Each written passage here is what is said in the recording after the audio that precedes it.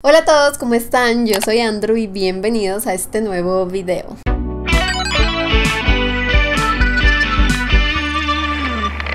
Después de meses y meses de que Netflix empezó a advertirnos que iba a llegar en algún momento una medida contra el uso compartido de cuentas de contraseñas que no creíamos, que sí creíamos, que nos asustaban, pero como que lo veíamos lejos, al parecer la compañía ya está lista para liberar todas esas nuevas reglas. O bueno, eso era lo que creíamos porque hace algunos días se publicó esta noticia de que Netflix ahora en sus condiciones de uso tenía nuevas reglas que supuestamente ya estaban siendo vigentes, reglas que tenían que ver con el no compartir contraseña, pero al parecer como que se les fueron antes de tiempo y fue un error. No quiero excusas, resultados.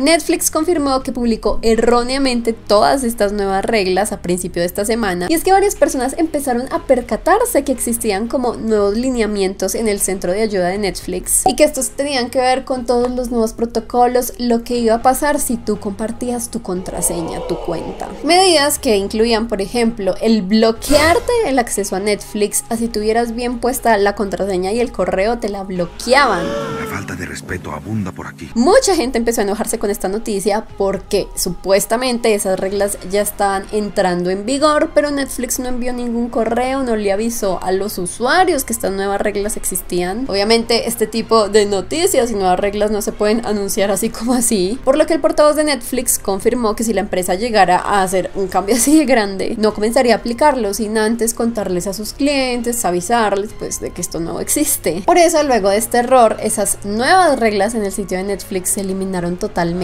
pero aunque Netflix las haya borrado, yo aquí se las tengo el chismecito completo para que veamos cuáles serán esas nuevas medidas si es que siguen siendo las mismas que Netflix publicó por error. Preparémonos mis queridos porque esto ya es en serio.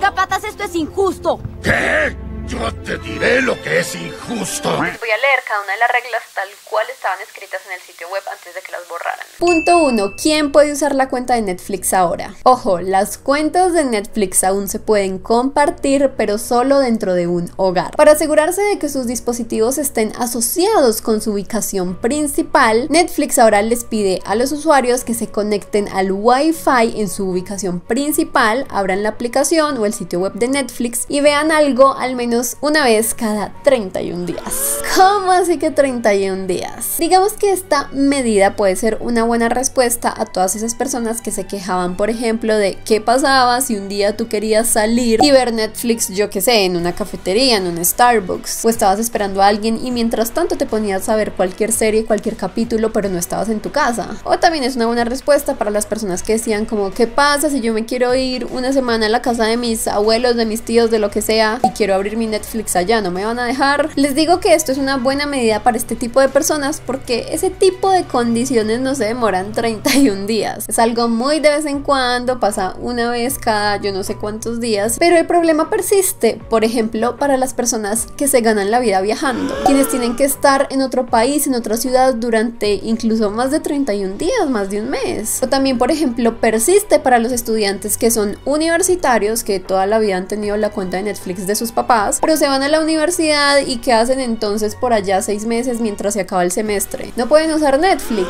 Mejor dicho, Netflix solucionó un pequeño problema con eso de los 31 días, pero el gran problema de otras personas que tienen varios hogares, porque sí, se puede tener más de un hogar, sigue persistiendo. O sea, les pongo mi ejemplo. Lo que yo entiendo es que si yo quisiera seguir teniendo la misma cuenta de Netflix que he tenido toda mi vida con toda mi familia, con mis papás, esta cuenta está registrada aquí en Colombia, pero yo ahora vivo en México. Entonces me tocaría estar viniendo cada 31 días aquí a Colombia para poder meterme a Netflix desde esta ubicación principal y que no me lo bloqueen. Obviamente estar viajando cada 31 días es inviable. Por eso les digo, paila, paila, porque se nos acabó la dicha.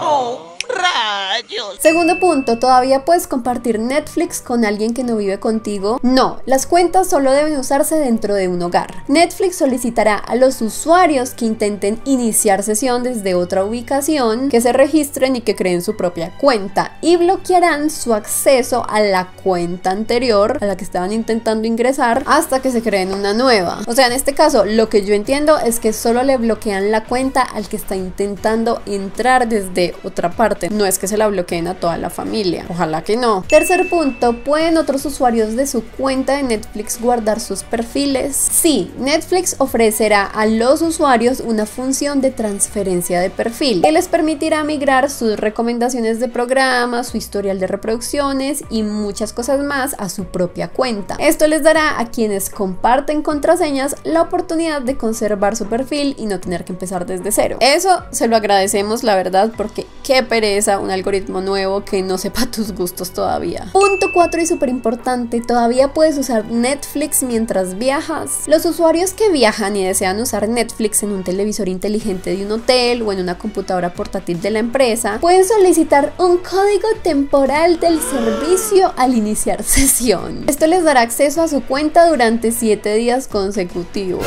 O sea, o sea, espérate, ¿cómo así? ¿Qué dijiste? Me estás queriendo decir que si yo me voy de viaje, tengo que pedirle como un permiso a Netflix. Netflix me va a dar un código especial y con ese código especial puedo entrar a Netflix desde otra parte, pero solo por 7 días. ¿Y qué pasa si yo me quiero ir de vacaciones 15 días? ¿Qué pasa si uno se quiere ir de vacaciones un mes? No es como que uno mantenga viendo Netflix cuando está de vacaciones, pero a veces uno lo usa cuando está en la sala de espera para abordar el avión. En cualquier momento uno lo puede usar. Por ejemplo, un episodio antes de dormir. Ni siquiera de vacaciones, como les digo, hay personas que trabajan y tienen que estar un mes, dos meses, tres meses en otras partes por trabajo. Todavía no entiendo muy bien cómo funcionaría este código de acceso porque pensando en la primera regla, no necesariamente tengo que pedir el código, simplemente con tal de que en 31 días vuelva a mi ubicación principal, pues no se va a bloquear. O eso es lo que entendí, pero ya cuando esto sea una realidad, pues veremos cómo funciona de verdad.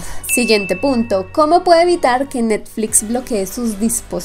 Ah, es que son varios dispositivos. Debes iniciar sesión en el Wi-Fi doméstico principal al menos una vez cada 31 días en sus dispositivos para que estos se conviertan en dispositivos confiables que Netflix recordará y dejará desbloqueados. Si su dispositivo ha sido bloqueado incorrectamente, deberá comunicarse con Netflix para desbloquearlo. Oh, o sea, un proceso como de llamar, pedir el favor de que te desbloqueen la cuenta, eso sí está como maluco. Pero se viene el punto importante. Oye, faltan más? ¿Cómo sabrá Netflix si no estás en tu casa o en tu ubicación principal? Netflix usa información como direcciones IP, identificaciones de dispositivos y actividad de la cuenta para determinar si un dispositivo que inició sesión en su cuenta está conectado en su ubicación principal. Si su dispositivo está siendo utilizado fuera de su hogar por alguien que no ha autorizado, puede iniciar sesión en su cuenta y cerrar sesión en todos los demás dispositivos y luego cambiar la contraseña. No me gusta esto. ¿Cuántos dispositivos te permitirán Netflix usar simultáneamente en una ubicación? Todo depende al plan al que estés inscrito. Netflix ofrece cuatro niveles de precios distintos y la cantidad de transmisiones simultáneas varía según el nivel al que se suscriba. Ya conocemos estos planes, el básico con anuncios y el básico sin anuncios, que ambos tienen solo un dispositivo, el estándar, que son dos dispositivos a la vez, y el Prime, que son cuatro dispositivos a la vez. Miren, miren, yo no les voy a negar que a mí estas medidas me parecen locas, o sea, de verdad nunca me imaginé que llegáramos a este punto, pero acá estamos. Sin embargo, me parecen unas medidas un poco cautelosas, porque yo siento que si la gente no cumple las expectativas de Netflix, si la gente empieza a encontrar bugs en el algoritmo, mejor dicho, bugs en el sistema y siguen compartiendo y compartiendo cuentas, Netflix podría ponerse mucho más agresivo. Podría incluso poner medidas más duras, como por ejemplo cobrarle una multa a la persona que está compartiendo la cuenta. Espera, tengo una idea. Dime, ¿eres cuáles? Vámonos de aquí. Nosotros por lo que sabíamos de información que se había filtrado, Netflix iba como que a cobrar un precio extra si querías compartir tu cuenta con alguien fuera de tu casa. Como que pagabas, yo que sé, tu plan normal, pero si querías compartirlo con uno de tus hijos que está viviendo lejos, pues te iban a cobrar un precio extra. O si lo querías compartir con uno de tus hijos y con tu mamá, pues ahí te cobrarían dos cuentas extra. Pero según estas reglas que publicaron por error y lo que sea, no vemos nada de este estilo. Puede que incluso hayan quitado esta opción de un cobro extra para compartir tu cuenta. Es curioso porque ese método de pagar extra para compartir se había probado en varios países de acá de Latinoamérica. La prueba piloto estuvo en Costa Rica, en Chile y en Perú. Y si ahorita quitaron esas reglas, tal vez es que les fue muy mal en estos países. Por eso es que era una prueba piloto. Pero saben que es lo peor de todo, que Netflix no solo pudo haber cambiado las reglas por la experiencia que tuvo en estos países de prueba piloto, sino sino que incluso por los comentarios que empiece a ver en redes sociales, lo que publique la gente por ahí de estas reglas filtradas, si ve que en serio la gente se está preocupando demasiado, podría incluso cambiar las reglas aún más. Le quedarían como dos meses para hacer cambios porque supuestamente por este mismo artículo esto iba a empezar a aplicar ya full full a finales de marzo. Tendrían entonces todo febrero y todo marzo para perfeccionar sus reglas. ¡Ay, qué miedo! Yo me voy. Mejor dicho, el tiempo nos dirá si estas reglas que se publicaron por error son como una señal de lo que se viene, de lo que se avecina, o si de pronto la mamá de las plataformas de streaming, la queridísima Netflix, tendrá incluso planes más fuertes para combatir todo esto del compartir contraseñas.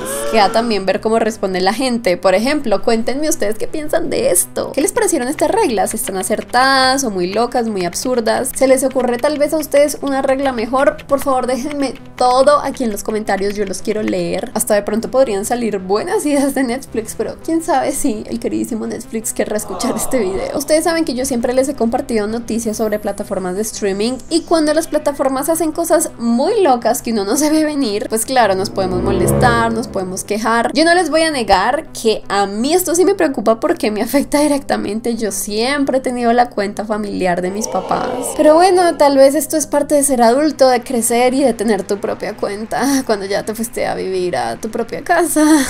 Eso es parte de crecer, Timmy. Que no está mal, claro, así es la vida. A mí sí que me preocupa más son las personas que viajan muchísimo y que de verdad no tiene sentido que estén sacando una cuenta nueva cada vez que viajan por trabajo a Francia o cada vez que viajan por trabajo a Estados Unidos. Si me entienden, ese es el problema. O a los estudiantes universitarios, o sea, cuando yo estaba en la universidad, si a mí me hubieran dicho, es que cada vez que estás en la universidad tienes que pagar tu propia cuenta de Netflix, no puedes usar la de tus papás. Uno como universitario, ¿de dónde saca plata? Pobre soy, pobre soy. Pero bueno, ya veremos qué pasa. Gracias por quedarse hasta el final de este video. No olviden dejar su emoji de regla, de escuadra si llegaron hasta el final de este video. Digamos que con la alusión de que tenemos muchas reglas en las cuales pensar. Y tampoco olviden suscribirse al canal si no lo han hecho. Yo siempre les estoy contando todas las nuevas noticias del mundo del streaming, de todas las plataformas de streaming. Así que suscríbanse con campanita para que les llegue notificación. Yo estoy muy pero muy activa todas las semanas. También me pueden seguir en mis redes sociales si quieren ver más contenido extra, noticias, ya cosas de mi vida más personal. Y como siempre, nos vemos en el próximo video. Adiós. El micrófono está muy abajo. No, y se enredó. No sé si se ve bien el collar, pero... No sé si se ve bien. Pero bueno. Ahí dice Andrew.